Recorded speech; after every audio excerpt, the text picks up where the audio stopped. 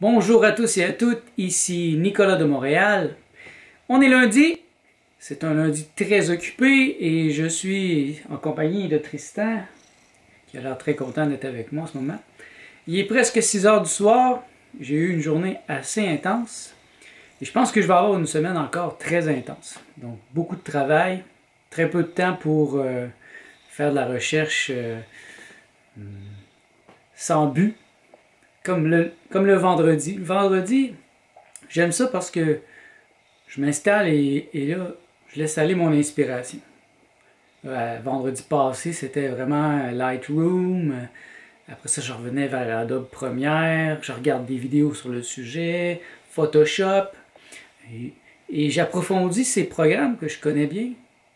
Photoshop surtout, que je connais depuis longtemps. Ça fait plus de 20 ans que je travaille avec Photoshop. Ça fait partie de ma vie quotidienne. Photoshop est, un, des outils les plus importants pour moi. Photoshop Illustrator sont les deux plus importants. Et là, dernièrement, Lightroom, que je commence à, travailler avec. Euh, Adobe Premiere, ça fait déjà un bon deux ans que je travaille avec ça. Je fais de la vidéo. Je ne connais pas encore beaucoup Adobe After Effects.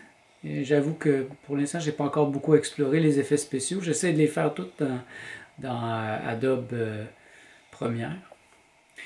Et donc, dans des journées comme aujourd'hui, c'est plutôt de l'action. Donc, je, mets en action ce que j'ai appris euh, dans la fin de semaine surtout.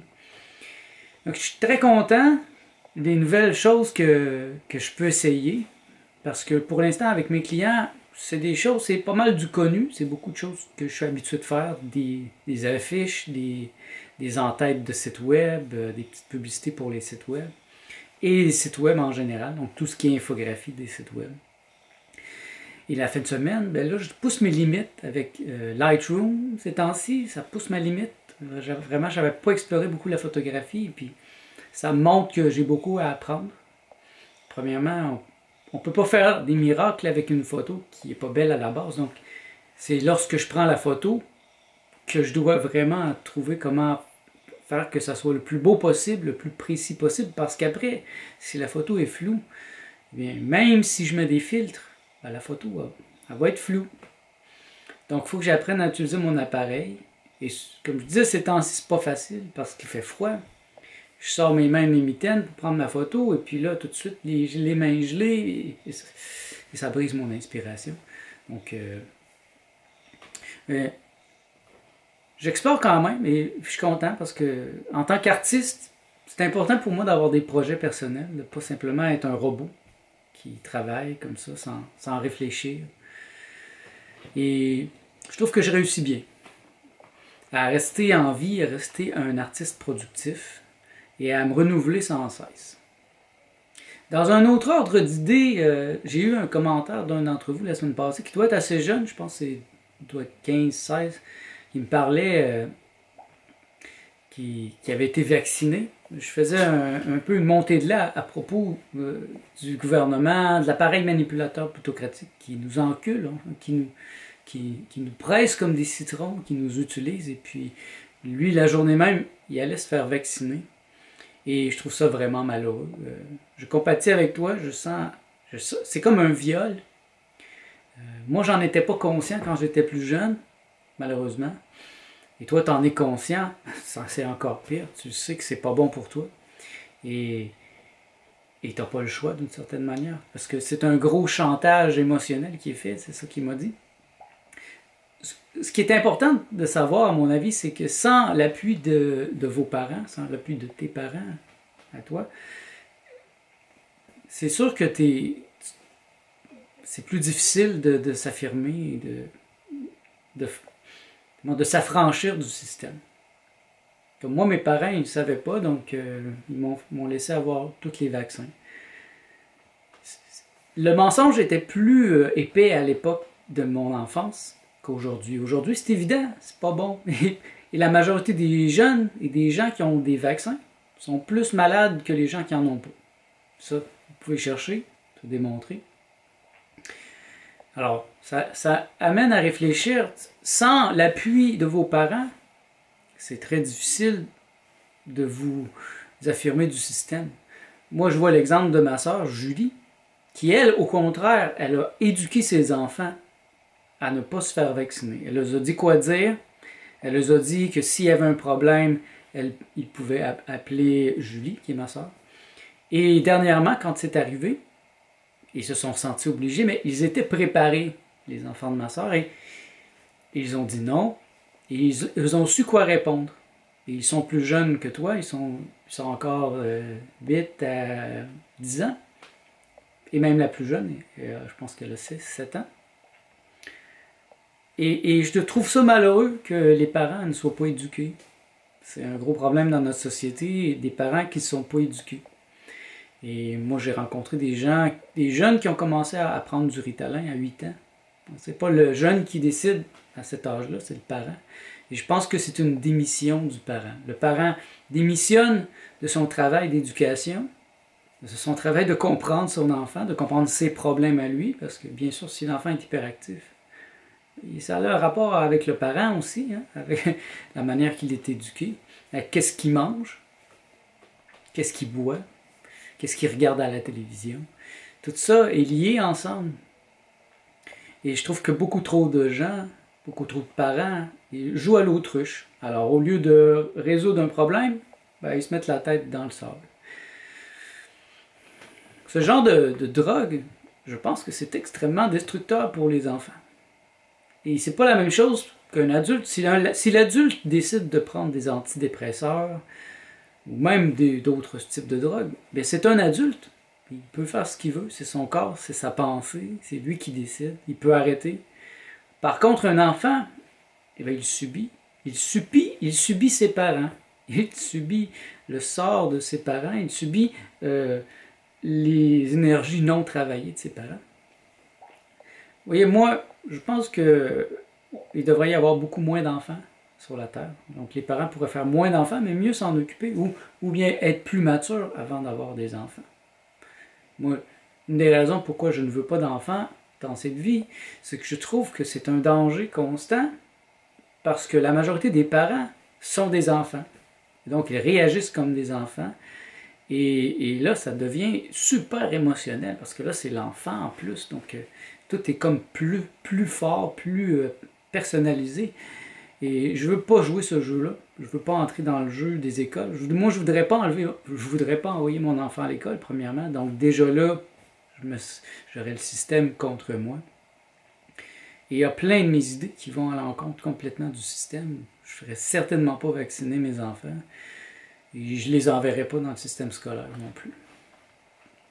Je les éduquerai moi-même. Et je trouverai le moyen. Mais c'est très abstrait et c'est très avant-gardiste. Et pourtant, ce n'est pas du tout avant-gardiste.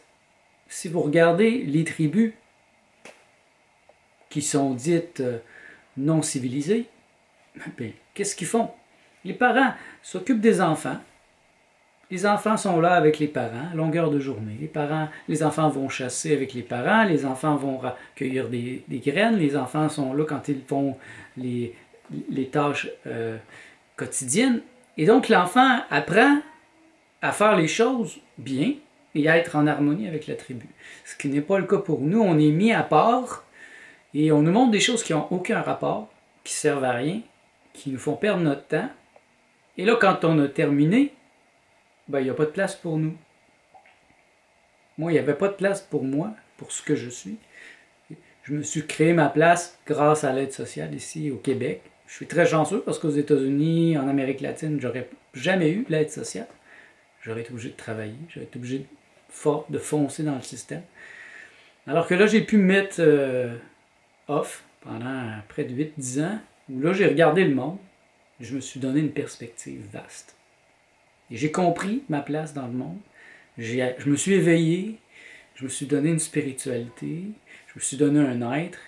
Et là, avec mon être, je me suis mis à travailler. Mais je travaille pas de la majorité. Je travaille pas comme la majorité des gens, je travaille avec mon être. Et ça, c'est la grosse différence. Donc, je trouve ça malheureux, en effet, que tu aies reçu un vaccin alors que profondément tu sais que c'est pas bon pour toi. Je pense que la, meilleure chose à faire si tes parents sont pas réceptifs, c'est de t'éduquer. Éduque-toi au max. Il va chercher de l'information, de la double information, de la triple information, de la contre-information, les points positifs, les points négatifs. Un livre que moi je peux suggérer, c'est La mafia médicale de Ghislaine Lanctot. Il est disponible en France aussi. Elle a écrit plusieurs autres livres.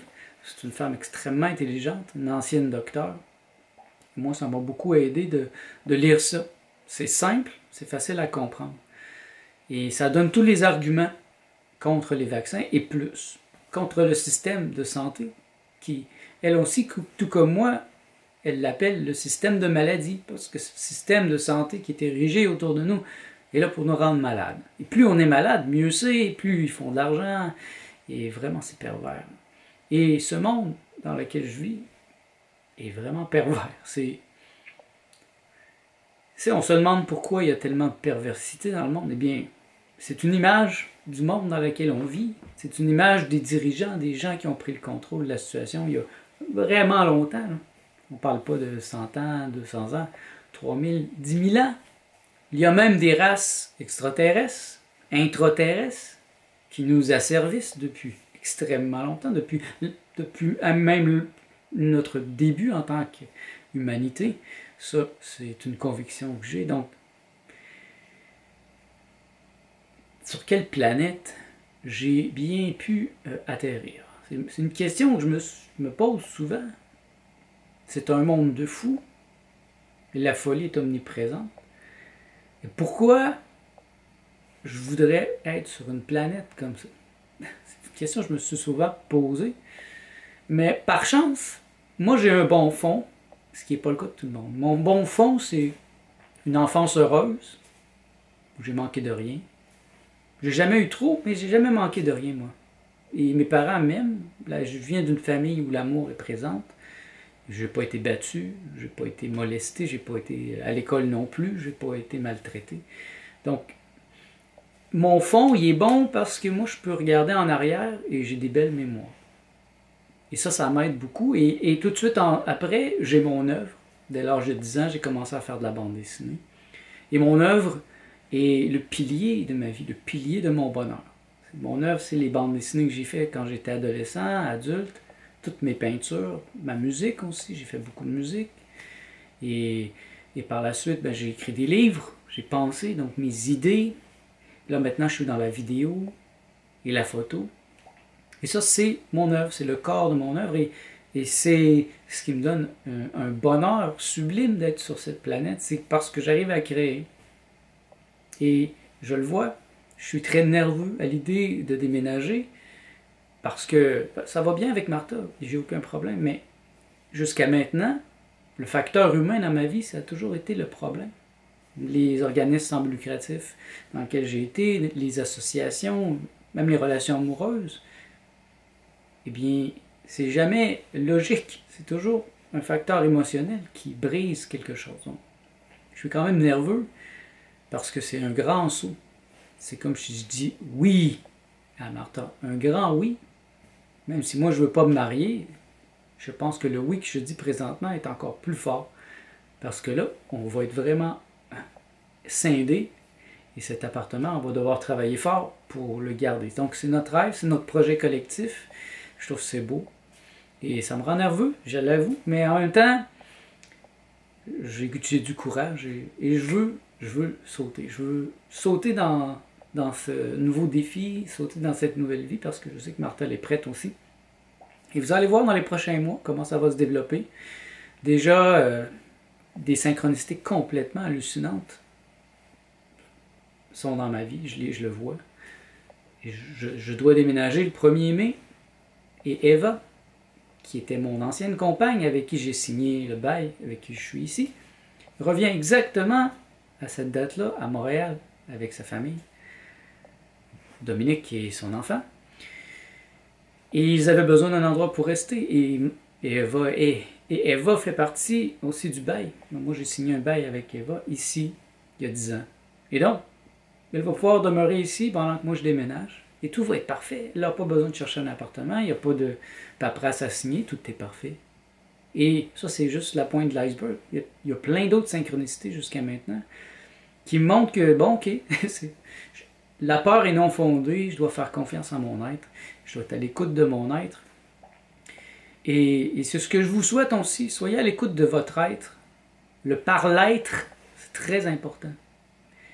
Si vous êtes médium, c'est facile pour vous. Vous pouvez entendre par clairaudience, par clairvoyance, clairsentience. Et sinon, ben, vous pouvez quand même faire de l'écriture automatique, être à l'écoute de vos rêves. Dans les rêves, il y a beaucoup d'informations. Vous pouvez consulter des médiums, aussi des gens qui peuvent lire dans l'invisible. Moi, je suis chanceux, j'ai des médiums tout autour de moi, et j'ai surtout ma sœur Julie, qui est une super médium, et moi-même, qui est quand même très connecté. Donc, je suis toujours capable d'aller chercher mon information et de la voir clairement. Présentement, je me sens très clair. Une grande clarté dans ma vie. L'année passée, il y a eu des moments où c'était moins clair. Mais là, vraiment, c'est clair. La colère est partie parce que j'ai réglé la situation. Mais pas réglé dans les détails. C'est sûr qu'il y a encore plein de choses dans l'appart qui sont inadmissibles et que le propriétaire, en fait, rit de moi pour ses demandes. Mais c'est pas grave parce que j'ai enclenché, j'ai enclenché un processus qui, moi, m'a libéré. Je suis libre maintenant. Les émotions peuvent passer et je me sens plus prisonnier. Je me sens totalement libre. Je sais que je vais partir. Ça ne sera plus mes problèmes dans les prochains mois. Et ça sera la preuve que ce sont ses problèmes. Et pour moi, c'est évident. Quand je le vois arriver, la manière qu'il est habillé, son corps physique décrépit, euh, sa santé qui semble pas très bonne, bien, je me réconforte dans l'idée que cet appart ne me représente plus du tout et que mon prochain sera vraiment à mon image. Et vous allez voir, ça va être à mon image. Beaucoup de lumière, beaucoup de plantes. Ne vous en faites pas, j'aurai pas de jardin, mais je vais avoir tellement de soleil que je vais pouvoir faire pousser plein de choses à longueur d'année. Des fines herbes, il va en avoir à longueur d'année dans ma maison. Et j'ai quand même une terrasse qui va me permettre d'avoir un accès direct au soleil. Donc, ne vous en faites pas. J'ai des projets au niveau des plantes. il va continuer d'avoir de la verdure dans ma vie, d'avoir de la vie comme ça. Et c'est très inspirant. Merci d'être à l'écoute. Je continue à vous parler la prochaine fois.